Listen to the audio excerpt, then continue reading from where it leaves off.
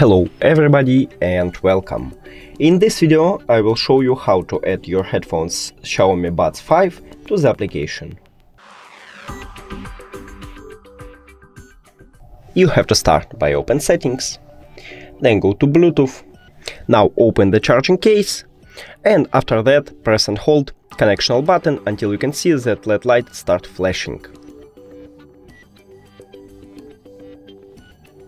Here we go, it start blinking. Now click on your headphones, then hide the settings and open the application. After that click add earphones and click on your headphones. And we did it! Thank you for watching this video. If you found it helpful, please consider subscribing to channel and leave the like on the video. It's really important to us. See you later!